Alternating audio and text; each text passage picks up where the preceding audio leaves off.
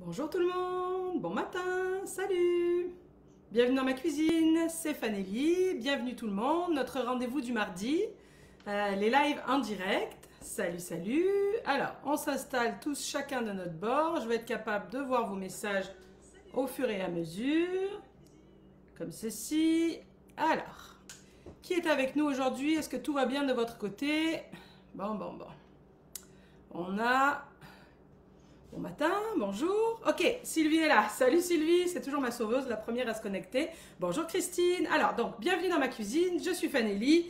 Euh, un mardi euh, sur deux, euh, des nouvelles recettes exclusives en vidéo et toute une tonne de recettes déjà disponibles en vidéo et en fiche sur fanelli.com. Cette semaine, après avoir fait Halloween, puis les citrouilles, puis tout pendant le mois d'octobre, on attaque le mois de novembre avec un légume qui est souvent mal aimé, le chou-fleur. Il est souvent mal aimé, le chou-fleur, parce qu'il n'est pas toujours cuisiné de la bonne façon. Le chou-fleur, s'il est comme trop cuit, déjà il va devenir avec une consistance bizarre, tout mou, tout mou, tout mou. Puis là, il développe comme une espèce d'amertume, puis une très très forte odeur qui est souvent désagréable et associée à ça. Mais on va voir que euh, associé à des épices ou à du fromage ou à une touche de sucré, ce sont des mix qui vont super bien avec le chou-fleur. Ça va? Bonjour Lucille, salut Catherine, salut Martine. Donc n'hésitez pas à poser vos questions si vous en avez, j'essaierai d'y répondre en direct. Tant qu'à faire, je me suis dit qu'on allait préparer le chou-fleur en même temps parce que ça va vous permettre de voir que c'est plus, c'est très facile, très simple d'obtenir des fleurettes. Puis on va peut-être voir, si vous avez le goût, si vous avez le temps, comment faire en sorte de ne rien jeter ou presque et de euh, même transformer euh, les pieds du chou-fleur, la queue du chou-fleur. Ça va?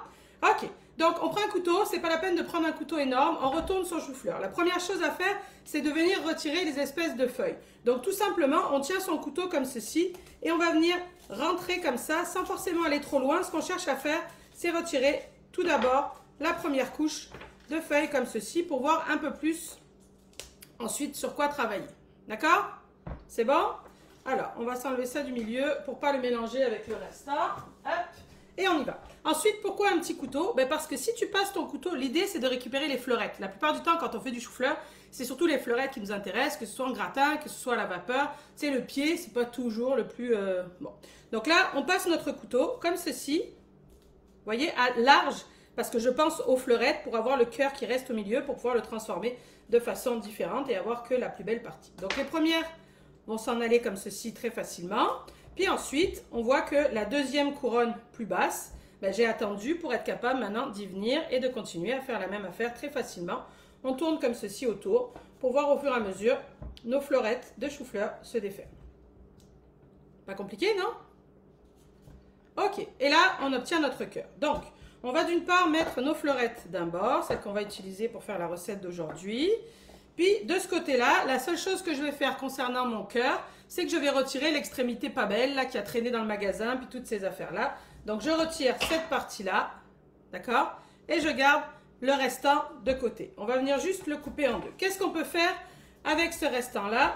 On en parlera éventuellement, si ça vous tente, quand on aura fini la recette du jour. Ça va? Allez, alors je pousse ça, je laisse notre cœur de chou-fleur par ici, je retire ça. Est-ce que ça va tout le monde? Oui? Alors on y va. La recette d'aujourd'hui, l'idée c'est de venir préparer croquettes de chou-fleur. D'abord, quand on dit croquettes, en général, les enfants, ils aiment ça, hein, parce que ça, sonne euh, croustillant, ça sonne fromage. Regardez voir, j'en ai fait une tournée d'avance pour vous montrer le résultat, parce que ça cuit quand même un certain temps au four. L'idée, donc, aujourd'hui, c'est de faire des croquettes de chou-fleur, donc très facilement, on voit que c'est bien croustillant, bien grillé dessous, on voit que ça se tient bien. Je vous montrerai tantôt la consistance à l'intérieur. Donc, très facilement, on y va, hyper rapide. Voici comment nous préparons nos croquettes. Salut Soumaya, n'hésitez pas hein, si vous avez des questions. La première chose à faire, c'est sûr que pour donner le côté croustillant, parce que le chou-fleur, ben, ça peut rendre un peu de l'eau, puis ça reste que c'est juste un légume. Pour donner le côté croustillant, on va venir mettre du fromage. Moi, j'ai choisi d'utiliser du cheddar pour rester dans la thématique un peu orange avec le curry, le poivron, etc. Mais euh, on peut utiliser le fromage de son choix du moment que c'est un fromage à gratiner, donc de l'emmental, du gruyère, du cheddar, la mozzarella en barre, ce genre de choses-là. Donc là, l'objectif de ce matin, c'est faire 12 croquettes. Donc ici, hein, vous voyez, il y en a, ben, moi j'en ai fait 6 pour la première tournée, mais on est capable d'en faire 12 avec la recette initiale. Euh, ça se mange super bien, super facilement, aussi bien chaud que froid, je vous en parle un peu plus tard. Donc, ici on y va. Pour faire 12 croquettes, on a 100 g de cheddar ou 100 g de fromage à gratiner qu'on va tout d'abord mettre dans le bol parce que ce qu'on veut, c'est le râper. Alors, si vous avez déjà du fromage râpé, évidemment, vous zappez cette étape-là. Donc là, environ 3 secondes, vitesse sec. On a râpé notre fromage. On va venir le réserver parce qu'en fait, il y a une partie qu'on va mettre en finition et une partie qu'on va mettre dans la recette. Donc le plus simple, c'est de venir récupérer ce qu'on vient de hacher. Alors Marie-France dit avec du brocoli, est-ce que c'est possible? Oui, vous pouvez faire la même recette avec du brocoli. Euh, pareil, même l'histoire du pied, ce que je vais vous expliquer tantôt, vous pourrez aussi faire ça avec du brocoli sans aucun problème. Bon, mon fromage est un peu pâteux parce qu'il était chaud, je l'avais sorti un peu en avance, mais peu importe, on s'en fout, dans notre recette, ça ira bien. On replace ici comme ceci. Ensuite, on appuie sur la balance et on va venir peser 400 g de chou. Donc le chou qu'on a juste défait comme ceci. Brigitte demande si on peut mettre du parmesan. Oui, vous pourriez. Je suis pas sûre que ça aurait le même côté croustillant quand même. Peut-être sur le dessus finir avec du parmesan, mais à l'intérieur, je pense qu'un fromage euh, gratiné sera préférable pour la texture générale. Donc là, j'ajoute 400 g de euh, chou que nous avons coupé. J'ajoute euh, un poivron d'environ 100 g. Quelqu'un demande avec de la mimolette ou du comté. Eh ben oui, du comté, tu parles. Moi, je ne mettrai pas le comté là-dedans tellement je suis en manque de comté. Mais oui, vous pourriez mettre du comté là-dedans. C'est sûr que ça serait super bon parce que vachement plus goûteux. Donc 100 g de poivron. C'est pas obligé, c'est pour ajouter un légume, c'est pour faire de la couleur. Tu sais, éventuellement, ça serait 100 g de courgettes que ça marcherait pareil. Tu sais, c'est légumes pour légumes, c'est la même affaire. Ensuite, on va venir ajouter un liant. Hey, salut Michel On va venir ajouter un liant. Ici, deux œufs. Donc deux œufs pour 12 croquettes. Également dans la catégorie liant, je viens rajouter de la chapelure panko. Alors la chapelure panko, c'est de la chapelure asiatique, voyez, qui est très légère, très croustillante. Si tu n'en as pas, tu pourrais remplacer par des flocons d'avoine, par exemple, éventuellement par de la chapelure euh, traditionnelle. Donc ici, on rajoute nos 70 de chapelure panko. J'ai oublié ma gousse d'ail, donc la gousse d'ail que l'on met euh, au départ avec nos poivres, avec notre chou, pour venir euh, assaisonner et parfumer la recette. Ça va? Dans le cadre assaisonnement et parfum, on va venir ajouter une belle cuillerée à thé de euh, curry ou curry, de sel et de poivre également pour rehausser tout ça. Ça c'est pareil, très souvent quand, on mange quand vous mangez des légumes, euh, surtout des légumes tout seuls, il manque d'assaisonnement. Il faut bien saler, poivrer, mettre des épices, c'est ça qui va rehausser, notamment quand on parle comme aujourd'hui du chou-fleur. Ensuite, je vais appuyer sur la balance et je vais aller peser euh, euh, je vais aller peser environ 80 grammes de euh, mon fromage que j'ai râpé précédemment. Je vais en garder une partie pour aller sur le dessus. Donc je rajoute comme ceci. Parfait. On s'en garde donc une partie pour le croustillant final. Ici, on voit qu'on en a haut, hein, que c'est rempli. Donc qu'est-ce qu'on va faire? Toujours pareil, on remet son couvert. On met la spatule à l'intérieur. Comme ça, on va venir aider au mélange. On va s'en aller pour 2-3 secondes en vitesse 5. Donc on y va, 2-3 secondes en vitesse 5. Et donc comme je vous disais, pendant la vitesse 5, je viens aider avec la spatule pour que tout le monde soit emporté. Mes, mes, choux-fleurs étaient quand même assez gros, je les ai comme pas tant coupés. Donc on va voir que probablement il faut rajouter une seconde ou deux. Peu importe, vous le savez de toute façon que c'est préférable de rajouter plutôt que d'en avoir trop mis. Euh, je vois de passer une question en diagonale. Euh, curry en pâte, oui, vous pourriez. Par quoi remplacer le curry? Je n'aime pas du tout. Par un autre épice, ça pourrait être du cumin par exemple. Ou vous pourriez donner une autre dimension. Donc vous voyez, il reste un morceau de chou là. Je vais le remettre une ou deux secondes. Ou vous pourriez donner une autre dimension à ces croquettes avec par exemple de l'assaisonnement à chili. Pas le piquant, piquant tout seul. Mais tu sais, euh, le, mélange à chili, là, celui qui sert à faire les chilis ou ce genre de choses-là. Donc là, je replace, encore une fois, on y va, quelques secondes en vitesse 5. Pour deux morceaux qui étaient récalcitrants. Ça va? Oui? Euh, Quelqu'un m'a posé la question, est-ce qu'on peut utiliser du chou-fleur congelé pour ça? Euh, Je ne l'ai pas essayé. Euh, ça serait pas mon premier choix parce que par définition, du chou-fleur congelé, même s'il est dégelé, il contient quand même beaucoup d'eau. J'ai peur que ce soit mouille-mouille. Mais si ça vous tente de l'essayer, vous pouvez. Regardez, donc là, on obtient comme du chou-fleur en grains, du chou-fleur en chapeau. Donc là, ensuite, on va venir attraper nos Moule à muffins. Alors, tu peux faire ça dans des moules à muffins traditionnels euh, métalliques. Euh, il y a les deux options. C'est-à-dire que le moule euh, à muffins traditionnel métallique, c'est mieux parce que ça renforce le côté croustillant. Par contre, parfois, c'est un peu galère à démouler. Alors, quand c'est galère à démouler, même en ayant graissé, j'aime mieux pas. Avec des moules en silicone, c'est sûr que ça va se démouler super facilement. Donc là, c'est pour 12 muffins, je vous l'ai dit, 12 croquettes. Donc, on met environ deux belles grosses cuillères dans chacune de nos empreintes. Là, j'essaye d'aller vite un peu, mais en réalité, d'habitude, je mets comme une, à chacun, une, à chacun pour essayer d'avoir des croquettes à peu près toutes équivalentes. Mais je sais que ça fait environ deux cuillères. Ça va? Donc là, je ne cherche pas à tasser ou à faire quoi que ce soit de particulier pour l'instant. C'est pas très compliqué, hein? Qu'est-ce que vous en pensez? Non? C'était rapido polo, hein, avec toutes les variantes possibles. Euh, tu sais, je vous ai parlé de l'assaisonnement euh, chili pour une variante, mais on peut toujours aller à quelque chose de plus euh, provençal, des herbes de Provence et un peu plus d'ail, du basilic quand c'est de saison, peu importe. Ce qu'il faut respecter, c'est le fromage, la quantité de fromage versus le chou-fleur pour être sûr que ça se tienne correctement, plus la chapelure ou les flocons d'avoine, toujours pareil pour que ça se tienne. Ensuite, je prends un verre qui a la taille idéale pour venir à l'intérieur de mes moules, et c'est important, je viens tasser assez fermement euh, mon chou-fleur à l'intérieur de mes empreintes parce que justement, c'est ça qui va faire que mes croquettes vont bien se tenir. Si elles ne sont pas assez tassées, elles risquent de se s'émietter, de se défaire. Ça va, Lise? Oui, c'est hyper rapide. Alors, ah bah, attends, je vais finir de, vous dire ça. Je vais m'emballer, vous dire trop d'affaires en même temps, donc ça donne rien.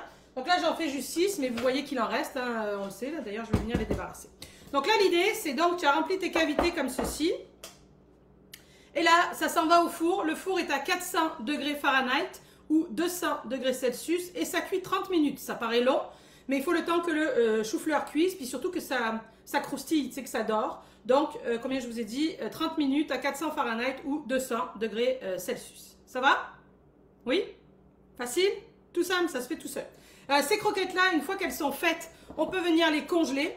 C'est sûr que ça n'aura pas exactement la même texture et qu'il sera préférable quand même de les repasser au four un certain temps pour venir redonner le croustillant, mais ça ira super bien.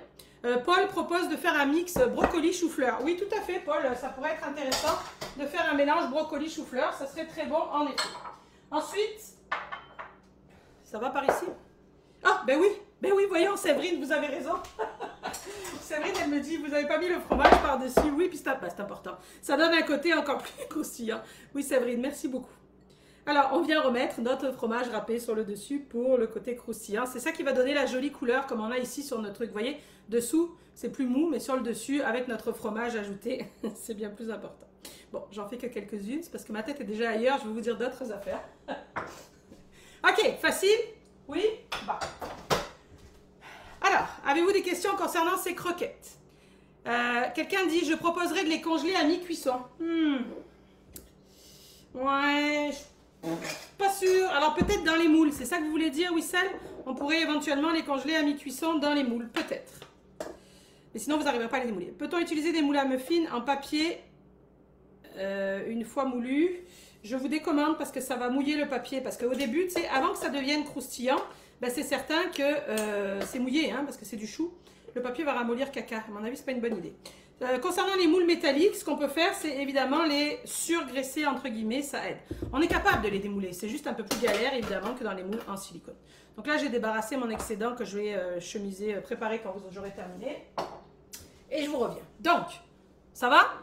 Ces croquettes, ici, comment ça se mange? Ça se mange chaud, en garniture, en garniture d'une viande, en garniture d'un poulet grillé, en garniture de même à midi d'une salade verte pour un repas un peu plus végé. Euh, quand on le mange chaud, on peut le manger tel quel. Éventuellement, ça peut aller avec un peu de sauce tomate euh, fait maison et remonter un peu d'épices. Vous avez une sauce tomate sur euh, fanelli.com qui s'appelle la sauce tomate du jardin et qui se prépare en 15 minutes et qui est super bonne.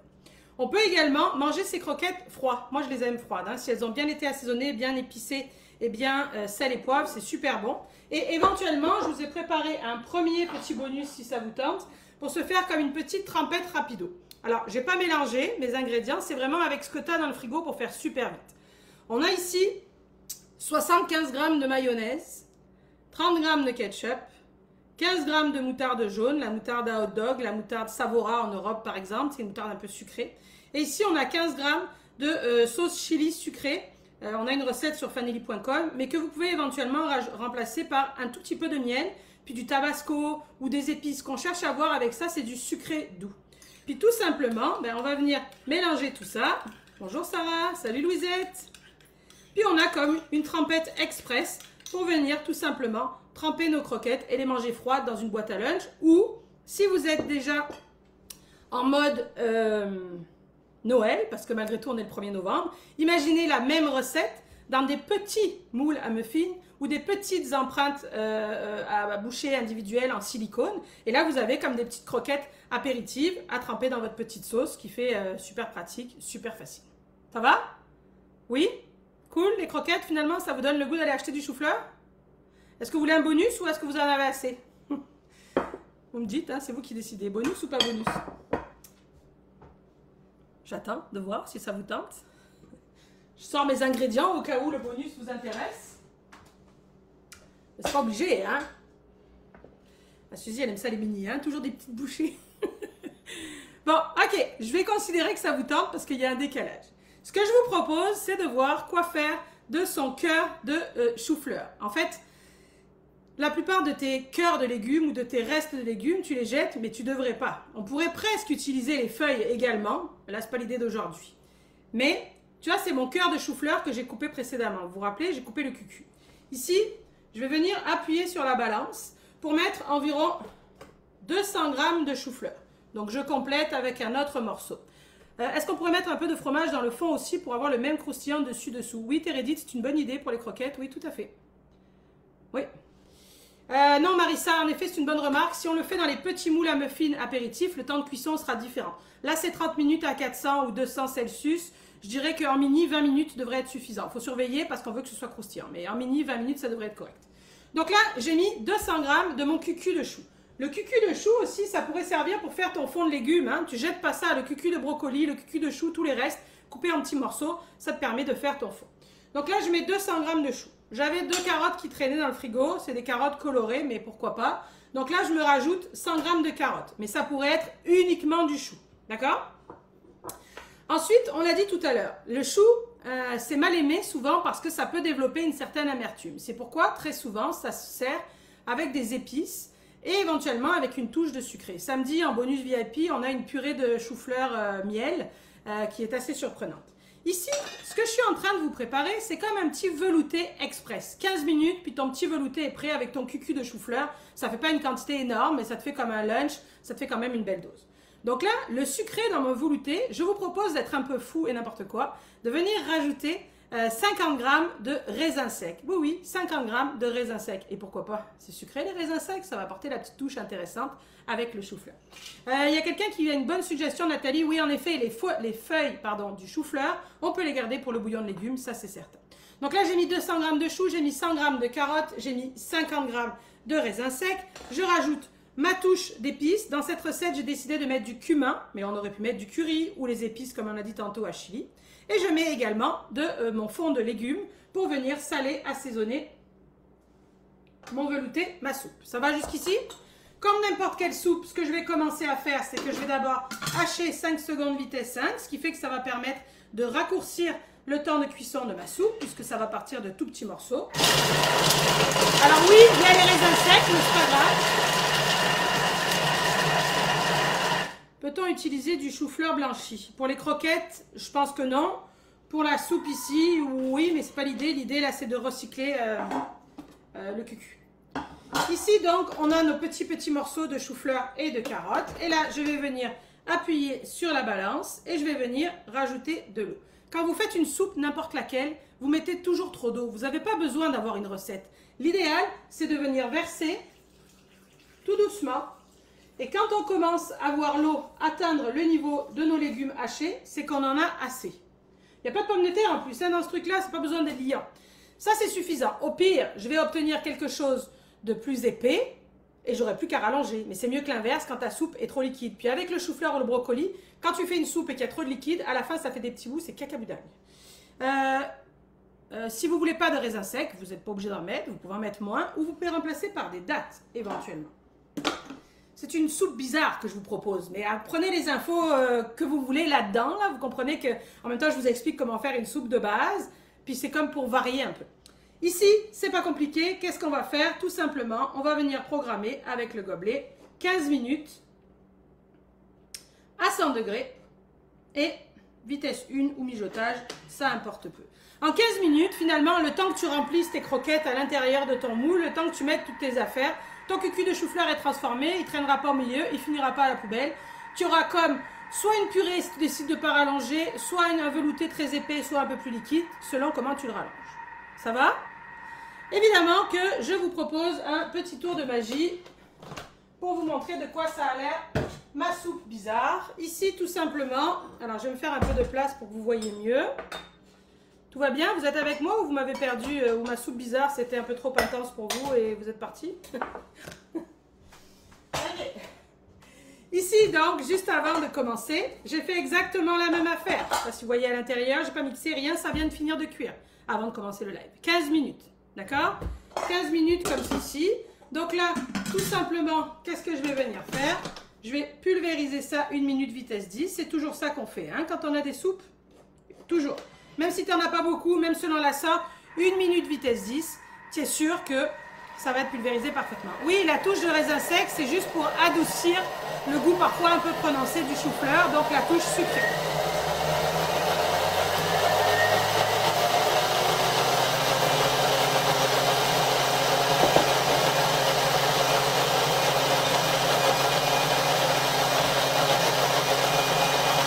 Voilà.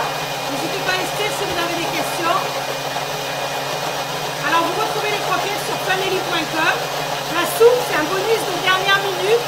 Donc ça viendra, mais dans l'après-midi ou demain.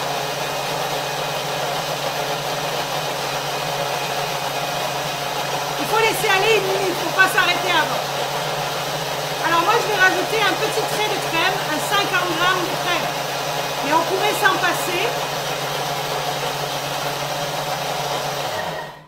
Un petit 50 g de crème. On pourrait s'en passer ou on pourrait le remplacer par du lait. On pourrait le remplacer par de la crème de soya ou ce qui pourrait être très intéressant pour rendre la soupe encore plus consistante, on pourrait remplacer par du tofu soyeux, du tofu mou. D'accord? Donc là, on voit qu'on a quand même une belle texture assez épaisse, voyez-vous. Je rajoute donc mon petit 50 g de crème. Et là, je replace, puis j'ai pas besoin de mixer euh, super fort et super longtemps. Je m'en vais juste quelques secondes en vitesse 5 pour incorporer ma crème avec ma soupe. Donc, 50 g de crème ou pas, ça pourrait être un peu d'eau, un peu de bouillon ou rien, ou du lait. Ça pourrait être un petit fromage aussi, une vache kiri ou un kiri ou ce genre de choses pour donner un peu d'onctuosité. Ça peut être une cuillère à soupe de fromage à la crème. Facile.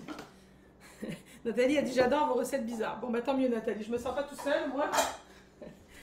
Ok, et là, regardez-moi voir cette belle texture. Hein. Moi, j'aime ça quand les veloutés sont épais et regarde ça. Il n'y a pas de pommes de terre là-dedans, il n'y a que du légume. Hein. Il n'y a que du chou-fleur. Donc, comme je vous le disais, ça donne une petite quantité. Ça donne à peu près un demi-litre de soupe. Mais tu peux doubler la recette, il n'y a pas de problème, et rajouter une demi-fois le temps. Moi, je vous rappelle que là, l'idée, c'était d'optimiser et de ne pas jeter mon cucu de chou-fleur. C'était de faire ma soupe euh, pendant que euh, je préparais mes croquettes. En 15 minutes, on a un bol de soupe qui est prêt euh, pour un lunch.